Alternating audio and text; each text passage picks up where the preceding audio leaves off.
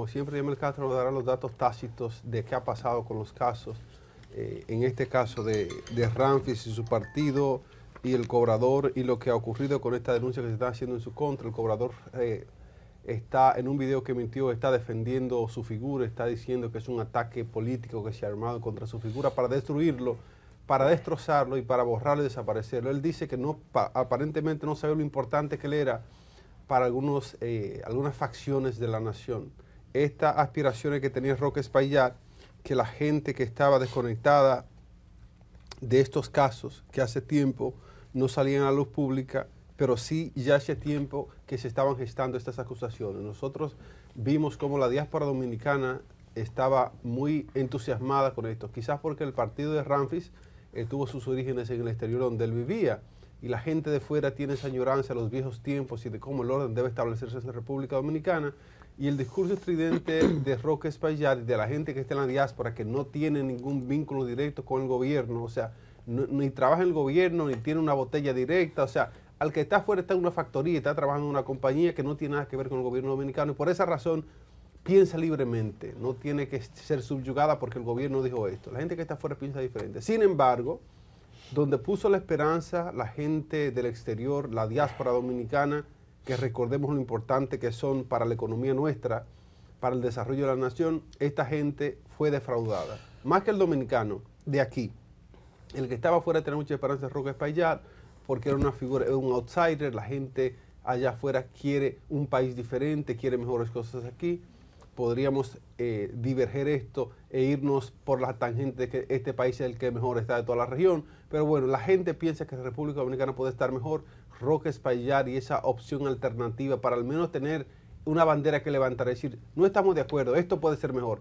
Eso defraudó a la población dominicana y tenemos a Emel Castro con los datos de esas declaraciones que da Roque Espaillat eh, eh, sobre un video que publicó. Adelante, Yamel. Sobre todo, Iván, esa parte que tú mencionas, porque el discurso político que ha llevado Roque Espaillat ha sido bastante fuerte. Entonces, un discurso que ha sido disruptivo, digamos, dentro de lo que normalmente conocemos como los discursos políticos, o más bien eh, dentro de los discursos a los que estamos acostumbrados en la política, él venía con algo completamente diferente.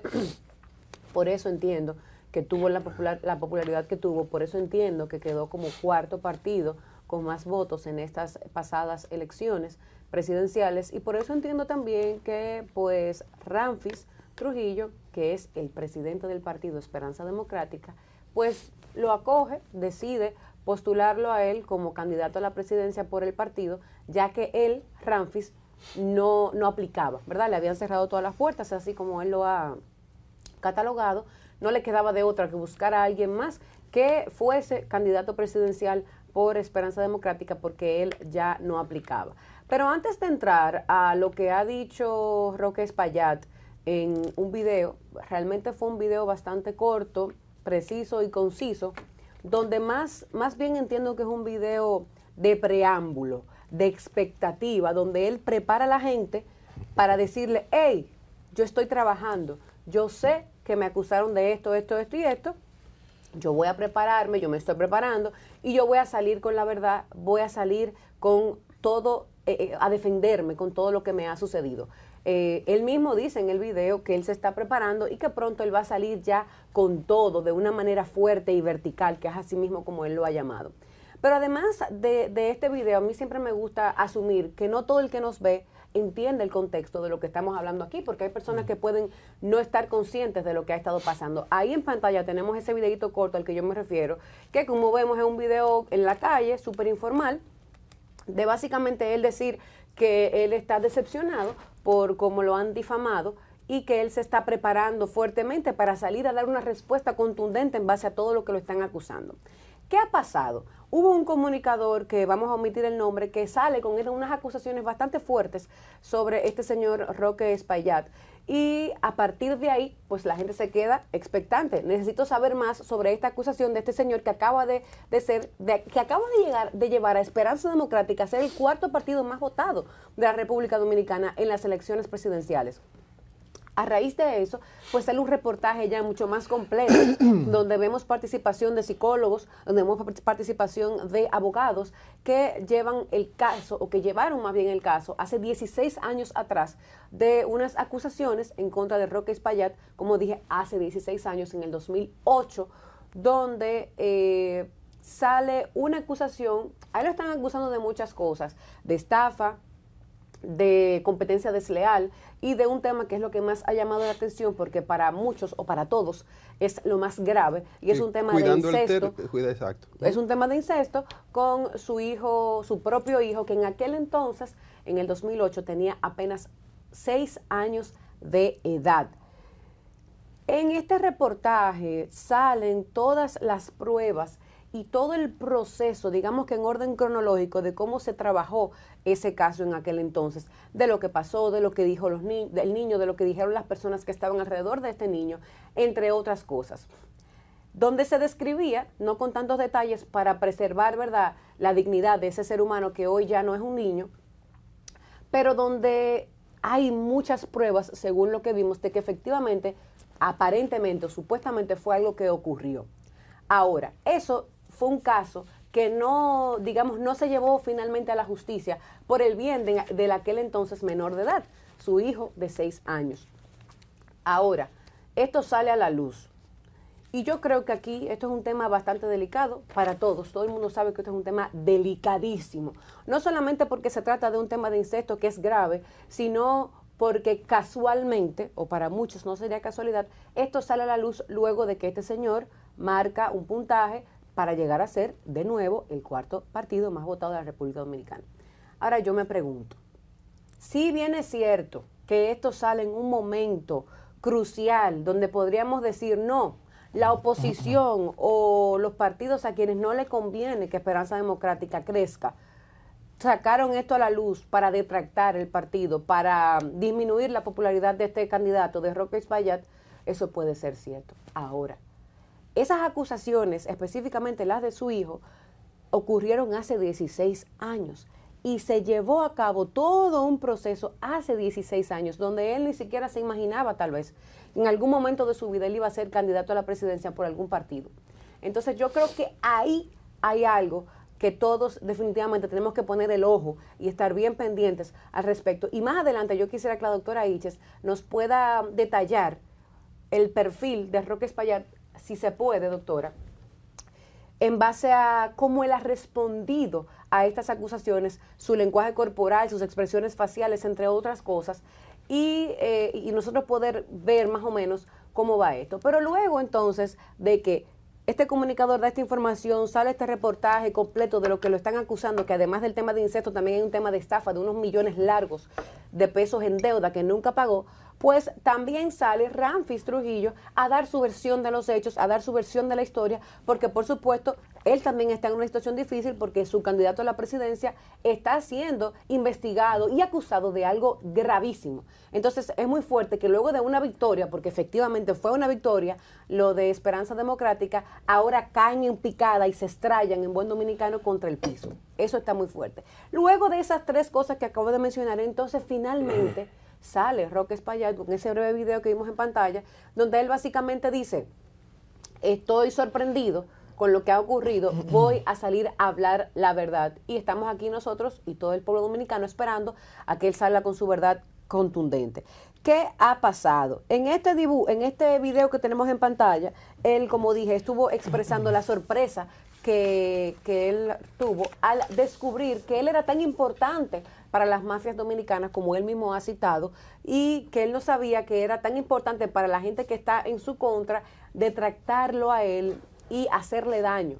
Él dice que él no ha visto que ni a lo peor de lo peor se le ha hecho tanto daño como se le ha hecho a él. Por supuesto que en ese video él declara que esas acusaciones son asquerosas, fue una de las palabras que utilizó, que no son ciertas, entre otras cosas. Básicamente él ha dicho que esto se ha hecho para hacerle daño a su imagen y hacerle daño a él como persona y también, por supuesto, que como candidato. Además de esto, señores, hablé de que está siendo acusado de estafa. En este reportaje vemos como Roque Espaillat tiene supuestamente antecedentes vinculados a mafias millonarias eh, de varios millones de pesos, específicamente a través de varias empresas. Una de ellas es Toyer Enterprises, que es una empresa de él, donde ha enfrentado situaciones legales relacionadas con esta empresa. Específicamente en el 2008, Toyer Enterprises recibió un préstamo de 450 millones de dólares. 450 mil. 450 mil dólares. Gracias, Nelson. 450 mil dólares. Del Banco de Reservas. millones de pesos. Sí, del Banco de Reservas. Unos 15 millones de pesos del Banco de Reservas que supuestamente nunca pagó y que más adelante pasó a ser parte de la deuda pública de según la Dirección de Créditos Públicos. Además, pues Roque Espaillat fue acusado de estafar a la multinacional Item House Inc. con más de un millón de dólares. Correcto. En el 2010 a través de esta misma empresa Toyer Enterprises. Pero además de esto, Roque Espaillat tiene participaciones de, en empresas de importación de vehículos usados como Busan Auto Import SRL y Espaillat Comercial, que supuestamente en un momento tuvieron siendo investigados por supuesta competencia desleal. Según las investigaciones, indicaron que estas empresas importaban vehículos de más de cinco años y que lo estuvieron haciendo durante el 2017 y el 2018. Usted sabe que eso está en contra de la ley. Esto viola a la Ley General de Defensa de la Competencia porque usted no puede eh, traer eh, vehículos, importar vehículos, perdón, de, de, esa, de esa cantidad de años eh, eso está fuera, eso, eso no está dentro de la ley. Pero además, Nelson, eh, tenemos que conocer, además de esas acusaciones tan fuertes en contra de Roque Espaillat, cuéntanos un poquito sobre qué ha pasado con el Partido Esperanza Democrática y un poco también de lo que ha dicho Ramfis Trujillo, que efectivamente le corresponde, ya lo hizo, pero le corresponde salir y dar la cara y hablar sobre lo que ha ocurrido. Sí, mira, voy a leer eh, básicamente lo que ocurrió y luego voy a hacer mi, comentario. Dice acá que el presidente del Partido de Esperanza Democrática, el licenciado Ramfis Domínguez Trujillo, reveló recientemente que el candidato presidencial de su agrupación presuntamente exigió 750 mil dólares si obtenía el, el candidato Roque Espaillat el 1% de los votos. Por lo tanto, como cumplió, el porcentaje debería entregárselo. En las elecciones presidenciales y congresuales, el partido representado por Espaillat, el Partido de Esperanza Democrática, quedó en cuarto lugar con 1.36 de los votos. Entonces, de inmediato voy a, mi comentario. Fíjense una cosa, nosotros en la República Dominicana eh, vivimos momentos muy especiales y digo eso porque yo le compartí a mis compañeros recientemente que si uno mira la situación desde lejos y trata de no involucrarse emocionalmente puede eh, visualizar varias cosas. Una, nosotros ya tuvimos campañas sucias en el pasado durante la época de Peña Gómez, que le valió un cáncer. Luego tuvimos a Antonio Guzmán Fernández, que por temas con su propio partido se pega un tiro. Reinaldo Pared Pérez se suicida por temas que, bueno, ya tendríamos que ver qué fue lo que pasó, eh, pero también por temas de frustración eh, y temas políticos. Uno pensara que para todas las personas que habitamos en esta isla, el único norte o la única preocupación que debería es qué hacemos con la gente pobre, cómo resolvemos de, cara al cambio climático el tema de las plagas, por lo que pasó en San Juan con las habichuelas, por ejemplo, cómo resolvemos, por ejemplo, el tema de movilidad para que no haya tanto carro en la calle y que haya un buen transporte público. Es decir, si nosotros nos fijamos, seríamos como un poquito más pragmáticos sobre cómo tomar nuestra vida, nuestro destino como nación, habrían temas más importantes que hablar de lo que le sucedió a una persona que fue candidato a la presidencia, y qué bueno que lo subrayó Yamel, hace nada más y nada menos que 16 años. Entonces, pongamos un caso hipotético. Si yo saco a relucir un tema de Vargavila de hace 16 años, ¿por qué lo haría? Yo lo compartí anoche en el equipo con la reunión de pauta y decía, chicos, tenemos que hacer, hacernos todos una pregunta. ¿Quién se beneficia de esto? ¿Los involucrados, las víctimas? Creo que no. ¿Se beneficia el doctor Roque Espaillat? Por supuesto que no. ¿La mamá del menor? No. El, menor, tampoco. ¿No verdad? Entonces, si no son los involucrados los que diseñaron y encuadernaron este, este dossier, que tan finamente hecho en forma secuencial, fue una obra de arte. Aparte, una cosa que logra esta estupidez de dossier es que cuando uno lo, lo lee, ¿no verdad? En forma cronológica, pareciera un veredicto de una sentencia, cuando lo que yo comentaba con mis colegas es que son peritajes psicológicos, una denuncia que hace una persona, y cuando tú lo lees 100 veces ante una persona que nunca ha tenido que ir a juicio en un tribunal de familia, tú dices, es culpable. Ahora, ¿cuál es el problema, mis hijos? Que yo puedo denunciar a quien sea por lo que sea e inventarme lo que yo sea, y luego, ¿qué es lo que ocurre? Hay países, para yo ponerle un ejemplo, que por ese motivo, todo lo que se dice dentro de un tribunal de familia no puede pasar a, un tema penal. Porque cuando las personas se separan, hay distintas formas. Hay gente que tú terminas y dices, mi amor, mírame a los ojos, sí. Creo que es hora de que terminemos. Bueno, mi amor, yo sé que lo veía venir eso. Bueno, te quiero, te amo, mi amor, tenemos que separarnos. Sí, papi, no hay ningún problema. ¿Puedo recoger mi ropa e irme? No, mi amor, no funciona así. Siempre hay problemas, conflictos, de parte y parte, de tanto hombres como mujeres. Hay una fauna eh, variada sobre esos temas. Ahora, vamos al caso del doctor Roque Espaillat. Yo eh, creo que lo que hizo, quien lo haya hecho, y me encantaría saber quién hizo llegar el dossier a cada medio de comunicación, quien dice, toma, léete esto en tu programa. Sí, porque Ahora, yo periodista ya me lo hubiese preguntado, pero hay, una, hay, un, hay un juego de palabras que dice, si lo que me vas a decir me conviene, no. ¿Es cierto? Tampoco. Entonces, ¿en qué ayuda realmente a la humanidad? Ese dossier no debió haber nunca existido, pero alguien lo entregó a los medios de comunicación con un fin. Me encantaría saber el nombre y apellido de la persona que entregó el dossier. Me encantaría saber con qué fin lo hizo. Para que toda la República Dominicana, entonces hagamos la siguiente reflexión. ¿Me gusta esa forma de hacer política? Yo creo que la mayoría del dominicano, ¿qué va a decir? Claro que no. ¿Por qué todos alabamos la forma en que Omar hizo eh, eh, marketing político? Porque no denostó a nadie. El otro adversario sí, lo hizo puré, como se dice en Sudamérica. Pero él no emitió ningún juicio de valor sobre otra persona. Llamé luego decía, bueno, vamos a estudiar la parte del doctor Reque como persona. Fíjense que antes de comenzar el programa, comentaba con el productor general de, nuestra plataforma el tema de que cómo él veía el tema. Él me decía, mira Nelson, lamentablemente durante los años 80 y principios de los 90, pues hubo mucha suciedad política. Era una manera, yo ingreso un instrumento literario, una, una historia que yo puedo construir, diseñar. Aquí tenemos un cineasta, ¿no verdad? Aquí tenemos una persona que se encarga de eso, de pensar y llevarnos luego a creer que ese mundo de fantasía es real, que es Iván Yael.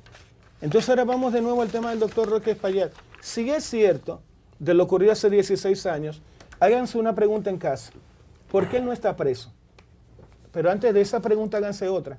¿Dónde está la sentencia del caso? Ahora vamos a antes de la sentencia. ¿Por qué no hubo una apelación? Ahora vamos a antes de la apelación. Ustedes encuentran, ustedes encuentran, ustedes encuentran sano, chicos, gente que nos ve en su casa, que un tema que involucra a un menor de edad que, como decía Yamelo, hoy tiene 22 años, 21 años. 21, 21, ¿no verdad? Pues ¿Ustedes creen que es sano y es, es de clase y es de ser humano que estemos hablando del tema? Por supuesto que no. Entonces, mi mensaje para Ramfis y paso a mis compañeros es el siguiente. Nunca más un acuerdo confidencial debe ser revelado en público, porque eso no es prudente y no es recomendable. Para el doctor Roque Espaillat, siempre es bueno terminar las relaciones con el menor ruido posible. El autogol, faltando horas para las elecciones, fue un exabrupto. Los problemas se resuelven en casa, los trapos sucios se lavan en casa y no en público. Y lo del tema del menor, como involucra de nuevo a la palabra menor de edad y a un niño y a una familia, yo le pido a todos los medios de comunicación que se enfoquen en algo bien simple y paso a mi compañero. Bueno. El, metro de los Alcarrizos no está terminado. Tenemos hospitales con ratas en la zona de urgencia. Tenemos calles que están llenas de basura en lugares donde ya ganó otro candidato y siguen llenas de basura como Santo Domingo Este. Y le podría enumerar más de mil vainas en las que tenemos que enfocarnos como nación.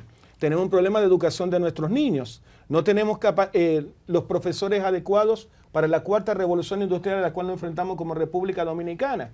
Necesitamos expertos en temas de cambio climático para ver qué vamos a hacer en la agricultura. Es decir, hay temas mucho más importantes que joderle la vida a otro. Vargavila Riverón.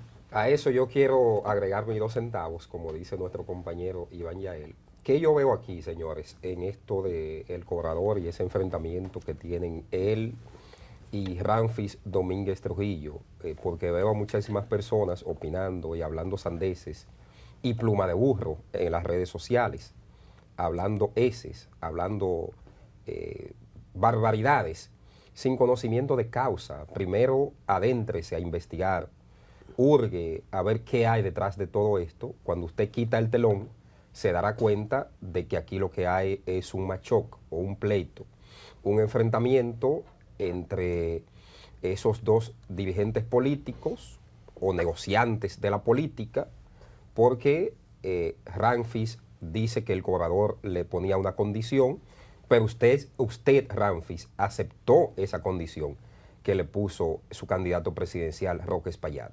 Entonces ahora eh, se dan a la tarea de buscar todos los elementos para desacreditar eh, a esta persona, desacreditar a este hombre o a este dirigente político. Eh, ciertamente eso se da, eso, es lo que le llaman campaña negra, así le, le denominan los analistas políticos.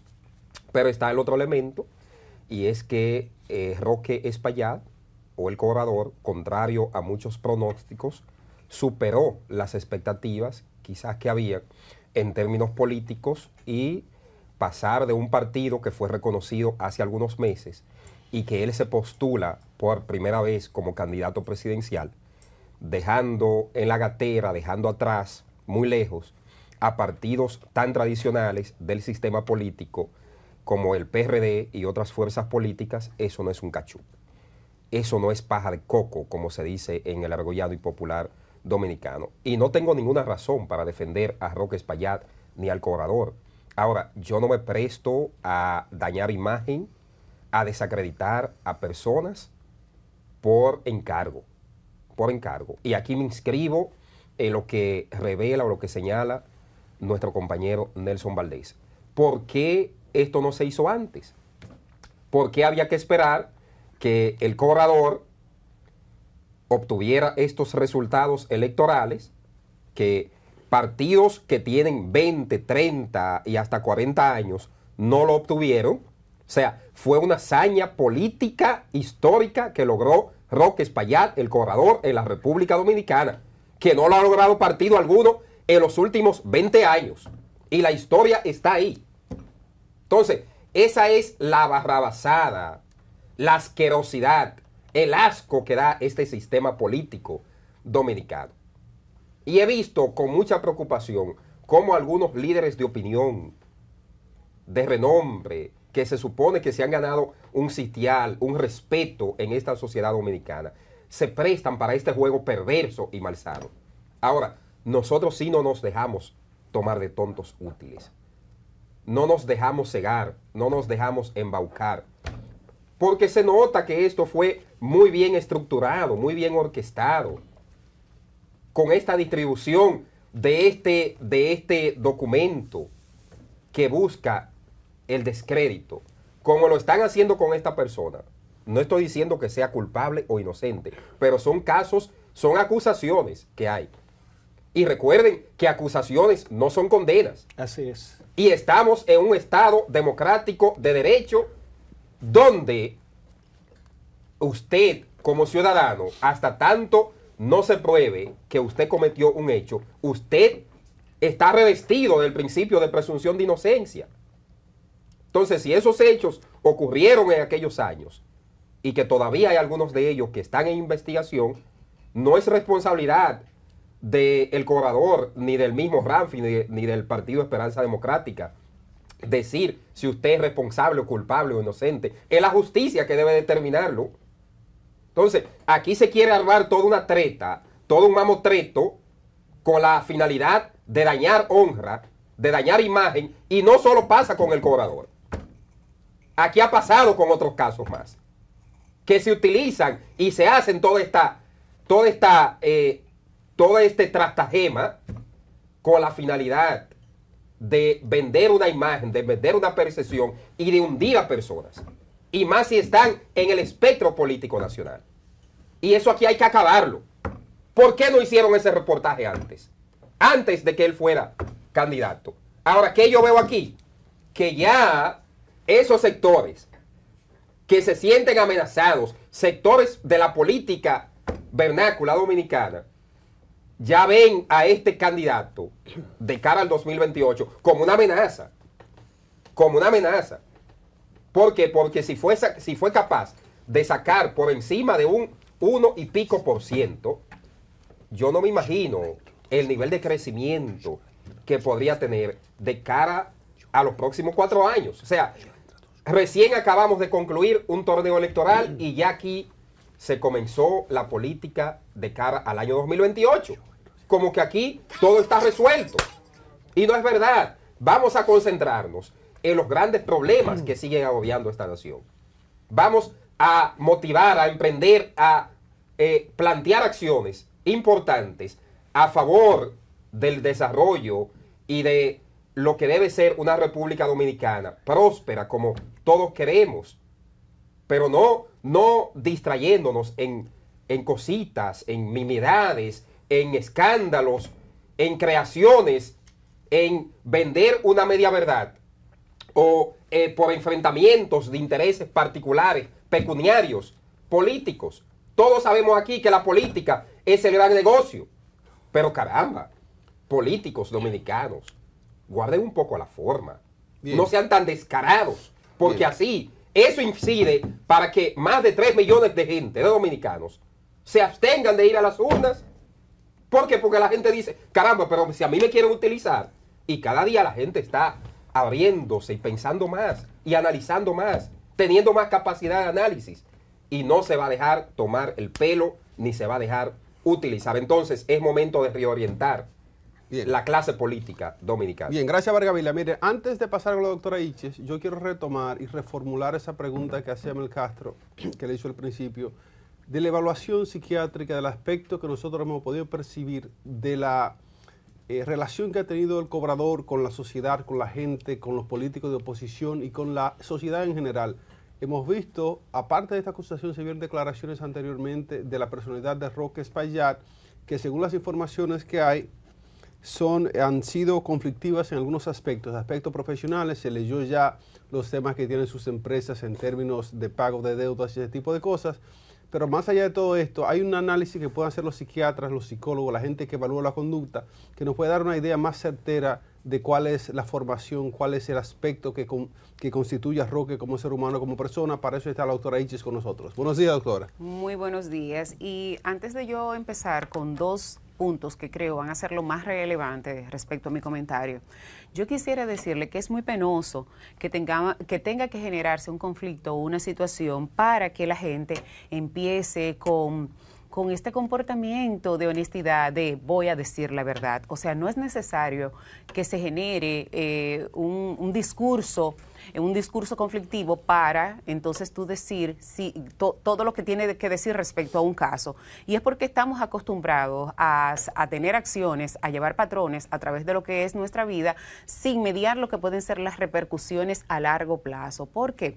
Porque resulta que no es solamente tú ejecutarlo del momento, sino también tú ser lo, suficientemente responsable para entender que eso en determinado momento pudiera venir me da muchísima pena y esa pregunta se la hicimos nosotros aquí a Ramfis cuando tuvo la oportunidad de venir exactamente la semana eh, de las votaciones, cuando le preguntamos si había averiguado, si él tenía información respecto a, de manera personal de quién era su candidato político y él dijo que no.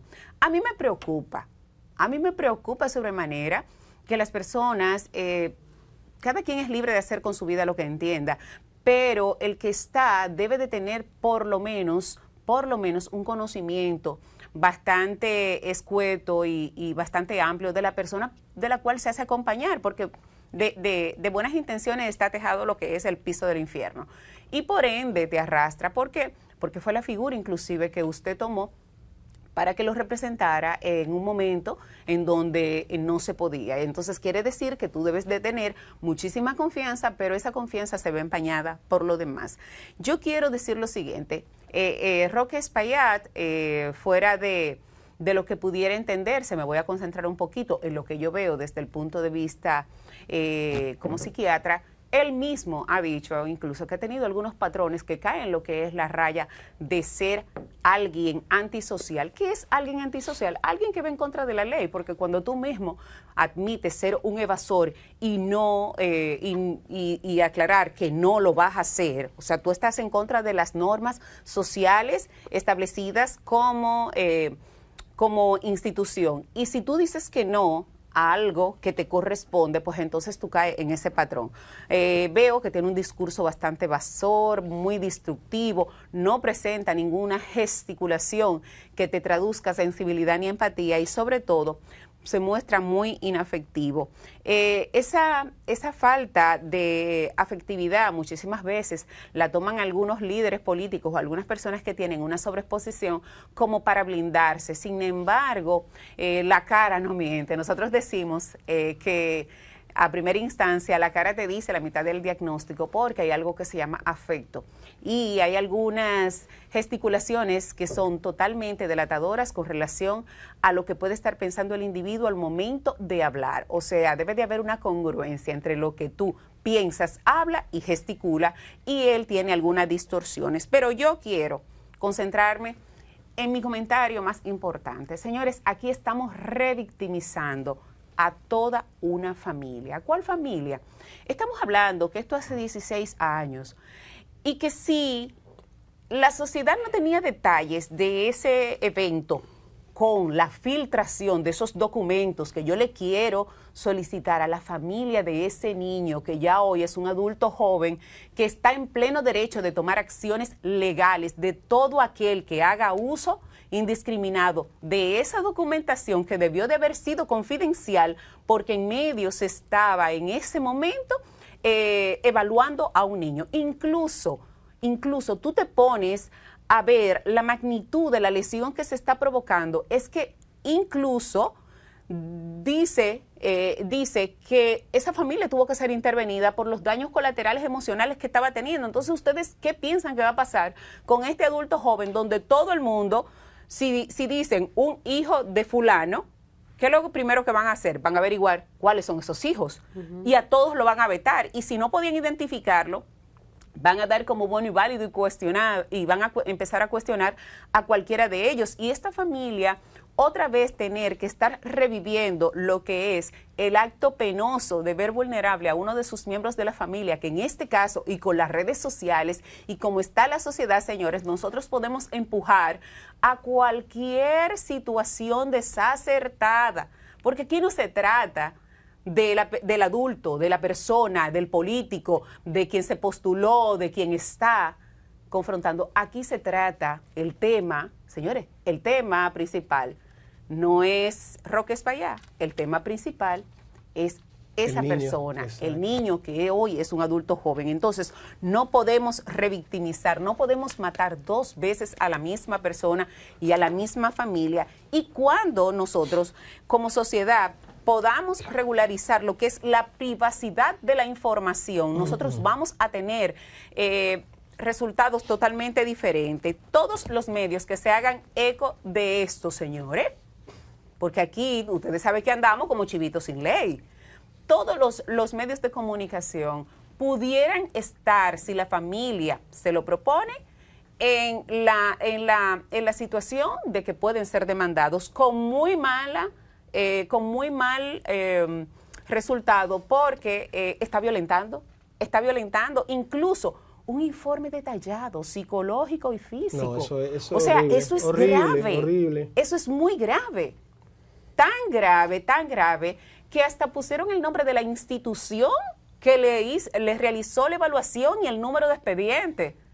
Entonces, yo le voy a, solicitar en este caso, porque ya no sería el Departamento de Niños, Niñas y Adolescentes de la Procuraduría, pero en ese momento sí, por favor, nosotros tenemos muy buenos fiscales y muy buenos titulares de esa dependencia. Háganse cargo de eso, porque porque les voy a decir algo, los medios, las redes sociales son muy crueles y ahora mismo esos adultos jóvenes, ese, ese, ese joven no la está pasando bien, porque otra vez resultó ser el tema principal de algo que no le tocó o no lo eligió o no se probó.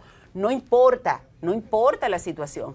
Y para mí es más desastroso todavía que un hecho que tenga 16 años no se haya cerrado, no se haya concluido, señores cuando involucra a alguien que está en un proceso de crecimiento, de evolución. O sea, eso está abierto ahí y lo sacaron a relucir y por eso que ustedes bien dicen, eh, no hay una sentencia ni, ni, ni, que lo, ni que lo condene ni que lo libere.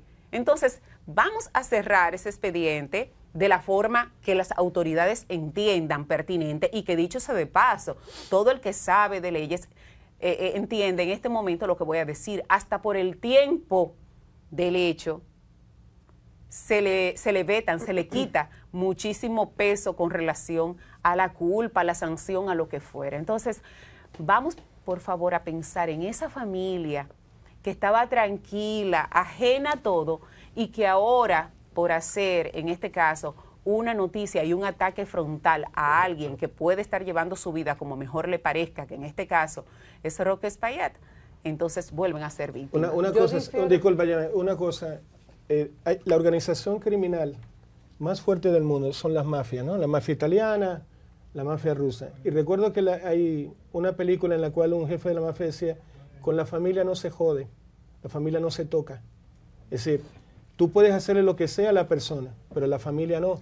Es decir, quien haya hecho esto es una persona vilmente malvada. Y algo, y algo en particular, y algo en particular ahí mismo, eh, y perdón, Yamel, tenemos que tener en cuenta cuántas veces reiterativamente la doctora Alexandra Iches tiene años abogando por evaluaciones de salud mental a todos los que van a ocupar y a todos los que se van a postular a puestos importantes y vayan a tener eh, oportunidades jerárquicas. ¿Y por qué? Porque nosotros no sabemos.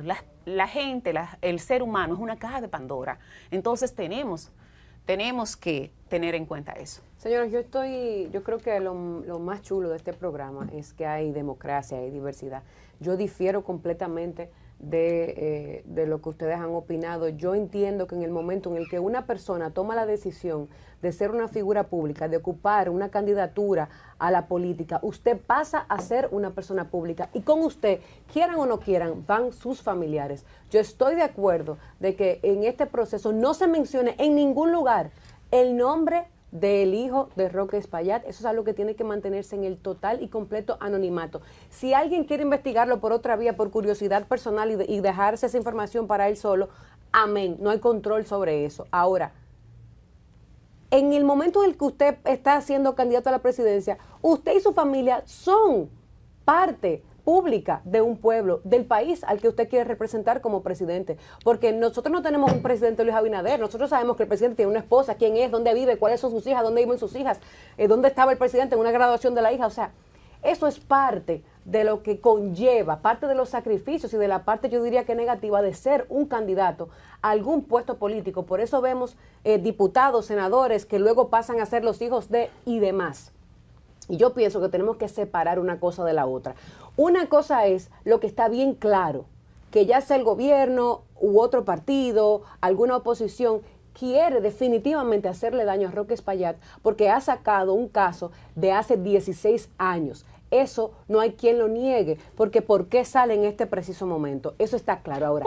Otra cosa es, otra cosa es que tú estés votando por una persona que ni tú ni yo sabíamos que esa persona tiene un expediente abierto de hace 16 años por un tema de incesto. Porque ahí uno tiene que, preocuparse y preguntarse, ok, yo tenía este pensamiento, esta forma de pensar sobre este candidato, pero ahora eso se puede tergiversar porque ahora hay una posible, hay una posibilidad de que esa misma persona, de que ese candidato tenga tendencia a algo con lo que yo no estoy de acuerdo yo como ser humano no, no, estoy de acuerdo, por supuesto, con un tema de conflicto Siempre sexual. Siempre y cuando, Yamil, eso sea cierto, porque si también es falso, ojo, tenemos una llamada, perdón, tenemos Vamos a recibir llamadas. Así es, vamos a aprovechar las personas, tanto como los panelistas, las personas están emocionadas en participar de este tema, tanto en YouTube.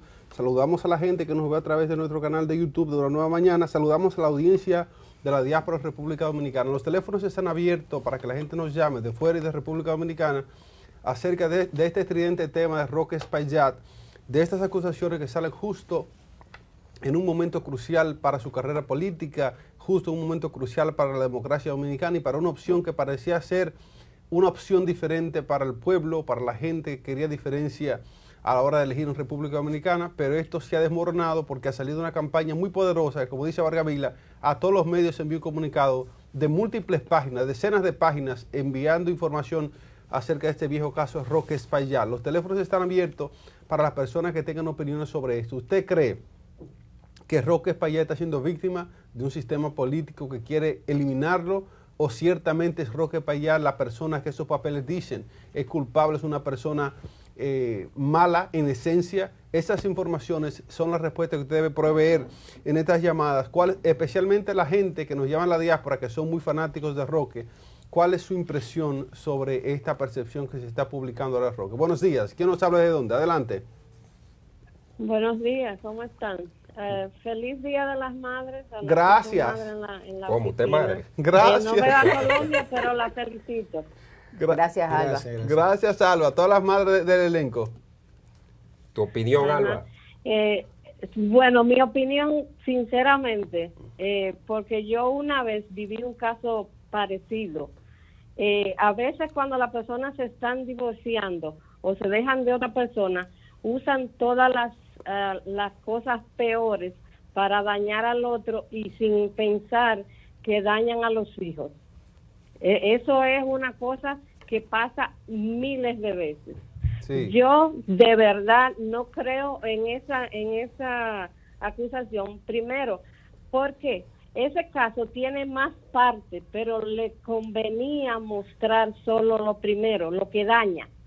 Entonces que den la segunda parte y enseñen el resultado, porque ahí hubo eh, otras doctoras eh, involucradas en ese caso que hubo un, eh, un problema de falda. Entonces, eh, debían investigar.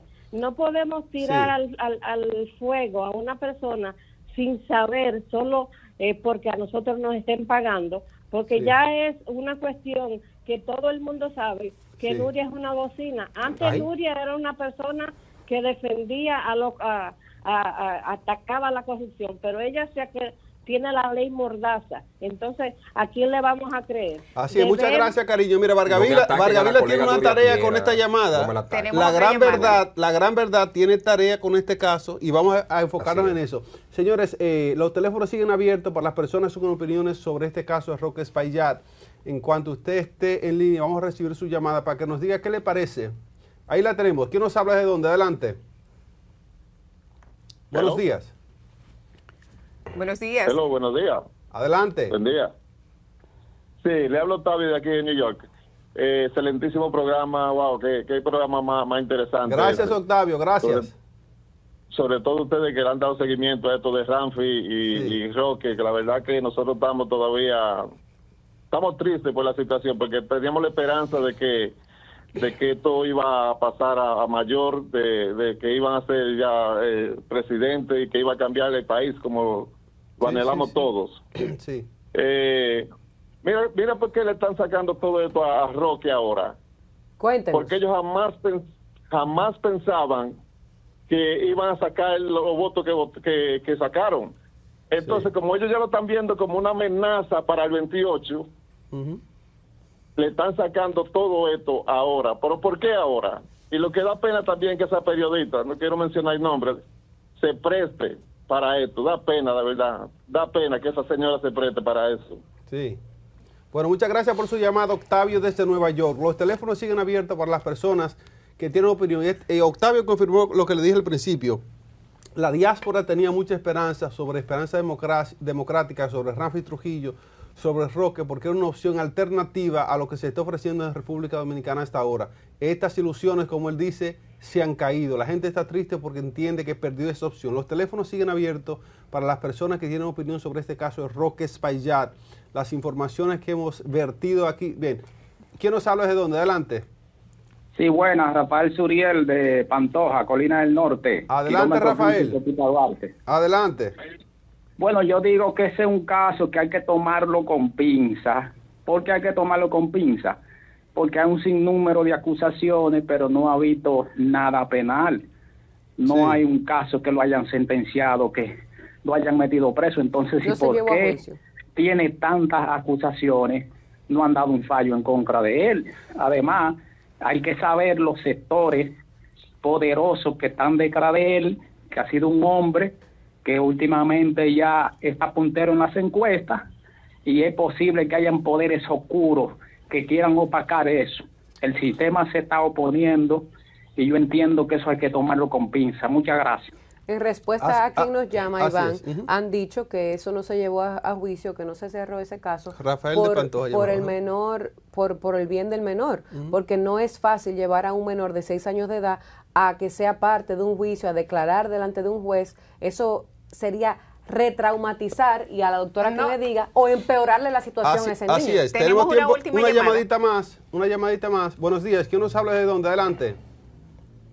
Edward Cepeda de Massachusetts. Adelante. Hola. Adelante, Edward. Sí, eh, era para decirle que un caso así, ya 16 años han pasado, ¿verdad? Y la persona como quiera sigue viendo a su hijo con ciertas reglas, ¿verdad? Y después de tanto tiempo que ha pasado y la persona se ha seguido comportando bien, no ha visto ningún otro tipo de caso ni nada, ¿por qué relucir esas cosas ahora?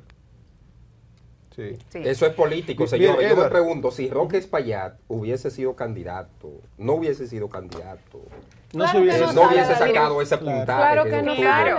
Eso hubiese sabemos. salido a la luz. No. Pero, No, pero o es que ahí es que ahí eh, se demuestra lo que siempre decimos, tú eres de interés público y general cuando eh, te expone o cuando te propones para ocupar algún puesto o, en este caso, postularte para cualquier cosa. Y por eso dije al inicio del comentario que uno tiene que saber cuáles cosas, ¿verdad? Cuáles son sus acciones en la vida porque tú vas colocándote en diferentes eh, escenarios. Sin embargo, aquí el punto 1A es precisamente la revictimización. Oiga, ese chico hoy, ¿quién no ha hablado de él? Claro. Por eso Ah, Ahí es que yo Claro. olvidémonos, olvidémonos Sí. del adulto, Claro. es el chico. A mí me preocupa esto en un mundo en donde hay un sicariato digital y que me imagino que ahora mismo el WhatsApp, el Instagram, las redes sociales y todo el mundo debe de estarle averiguando la vida a ese muchacho para solamente llenar la curiosidad y el morbo. Se le hubiera empeorado el trauma, doctora, al niño. Si en que- aquel momento a sus seis años se lleva a juicio y él tiene que declarar ante un no, juez. no, no, Es que no que sabes no si es verdad esos eso, procesos no son así. Si fuese verdad, supuestamente. Pero es que esos procesos no son así, cuando se- eh, y menos Cuando cuando, son menor, menores. no- no son Yo así, le recomiendo, antes de que nos vayamos a pausa, le recomiendo directamente de Nelson Valdés, de Nelson Valdés al doctor Roque Paya y espero que de verdad venga a nuestro programa. Le vamos a dar el espacio, ¿no verdad? Para que se defienda del tema. Él no se ha defendido, él no quiere ese Bueno, tema. da lo mismo. ¿Él lo va a tocar? Pero que él lo va a tocar. Doctor Roque Espaillat, para eso están los abogados, para ponerle una demanda penal. Desde Nuria Piera hasta José Peguero y el que haya recibido todo portafolio con eso. Eso no se hace y le pido directamente a los medios de comunicación, dejen esa familia tranquila. Vamos a una pausa y regresamos con más. No, no, no, no, no vamos a una pausa. Antes vamos a leer, vamos a leer los comentarios de YouTube rápidamente. Ah. Aquí, aquí está Sandy Hernández que está diciendo, respondiendo a Yamel. Yamel no fue por eso que el caso se detuvo, fue por un problema de celos. Y va sobre la línea de la otra llamada de que ahí hubo una situación eh, de relación interpersonal en, De falda. esa, en esa relación, un problema de falda. Un Lío de problema- falda. Un problema de celos y muchas cosas más. Agradecemos la audiencia de la gente de YouTube, más de mil personas simultáneamente en vivo en nuestra transmisión. Sandy Hernández, que ha comentado varias veces. Agradecemos también a Gerard Díaz, que se comunica por aquí. Está Aracelis Cruz. Mucha gente de la diáspora y de República Dominicana, aquí locales, están comentando aquí a, a Lourdes Rodríguez y a muchas personas más que están aquí conectados. Queremos aprovechar Aquí, aquí, para aquí- invitarles a que se suscriban a este canal de YouTube de Una Nueva Mañana. También que visiten el canal de Al Tanto TV, donde hay contenidos sumamente interesantes sobre cosas dominicanas. Además, visitar la página de internet, nuestro periódico digital altanto.com.do, para que se informe de las noticias que son importantes.